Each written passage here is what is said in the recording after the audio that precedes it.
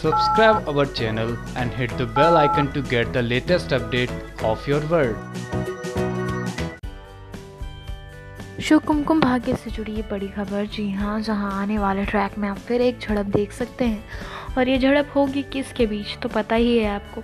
ये झड़प होने वाली है तनु और प्रज्ञा के बीच, क्योंकि तनु और प्रज्ञा फिर एक बार लड़ने वाले हैं। जहाँ पे अभी आप शो में देख रहे हैं कि कैसे आल्या और सारे घर वाले पहुँचते हैं एक लाश की शिनाख्त करने के लिए, क्योंकि उन्हें लगता है कि वो अभी है, जिसका एक्सीडेंट हो गया है। लेकिन इसी के बाद तनु का दिमाग घूम जाएगा और वो कर लेगी फैसला कि वो प्रज्ञा के घर जाके अभी को ढूंढेगी।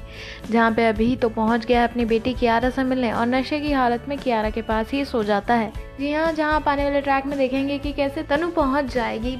प्रज्ञा के घर में और वहाँ वो देखेगी कियारा और अभी को एक साथ, जिसके बाद उसको डर लगने लगेगा कि कहीं अभी फिर से हो ना जाए प्रज्ञा का।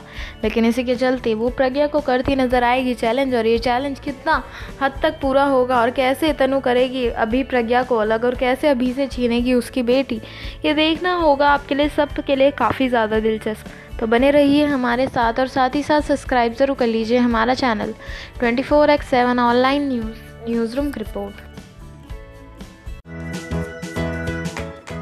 Subscribe our channel and hit the bell icon to get the latest update of your world.